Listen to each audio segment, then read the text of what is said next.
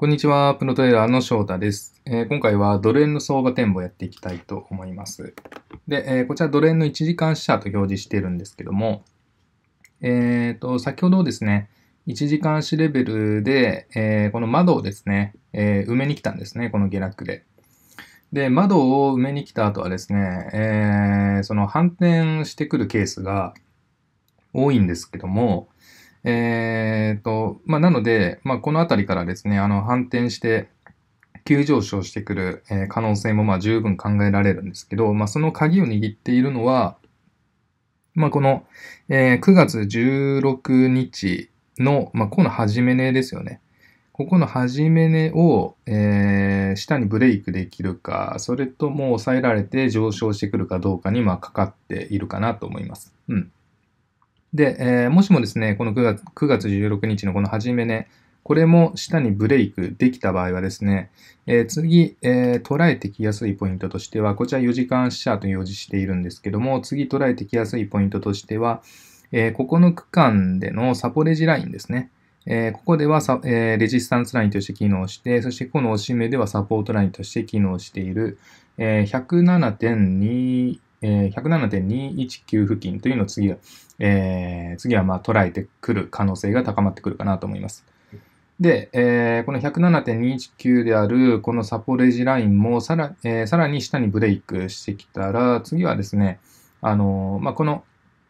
チャンネルの加減ラインですね。えー、っとね、これ1時間チャートで見ると、まあ、こういうふうにね、チャンネルライン引けるんですけど、まあ、こういうふうにこう下落トレンドがね、こう今作られてますよね。で、下落トレンドが作られているということは、同時にこう切り下げラインが引けまして、切り下げライン引けるということは、まあ、このようにこうチャンネルもですね、組むことができるんですね。というわけで、このチャンネルの加減ラインというのを、えー、次はですね、これですね、4時間足跡で見ると、次はこの、えー、チャンネルの加減ラインを、えー、目指してくる可能性が高まってくるかなと思います。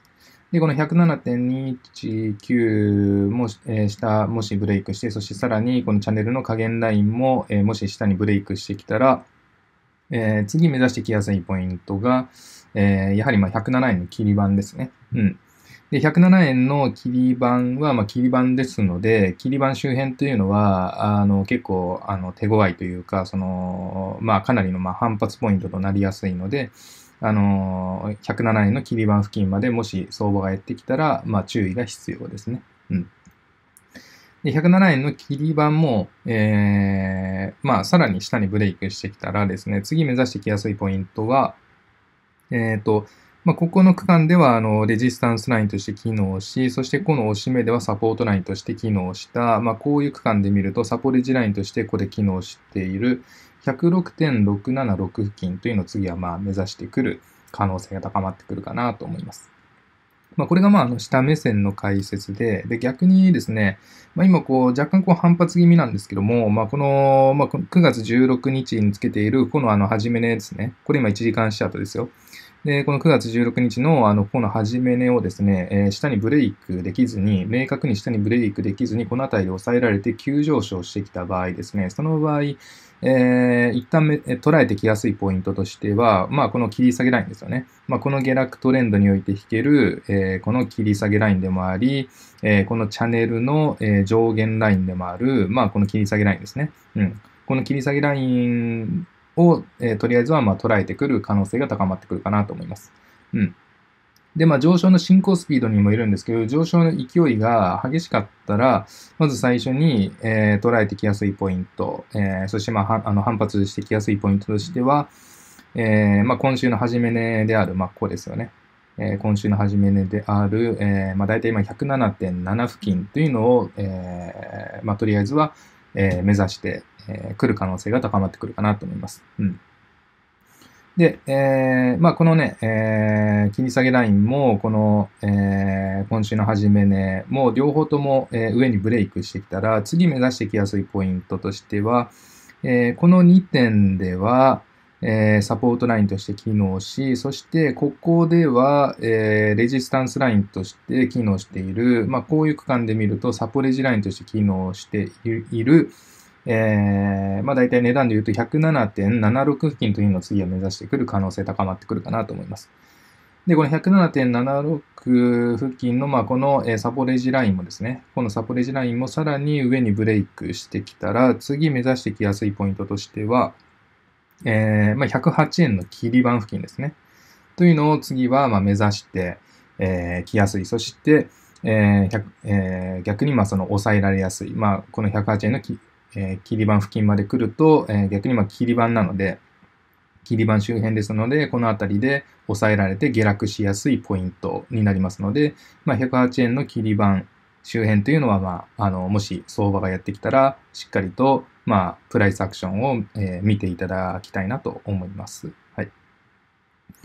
えー、まあ、そんなところでしょでしょうかね。まあ、こんな感じで、あのー、あの、次にまあ目指してきやすい、捉えてきやすいポイントというのが、えー、というのが、というか、えー、次に捉えてきやすいポイントというのをまあ意識しつつ、えー、トレード戦略を練ることで、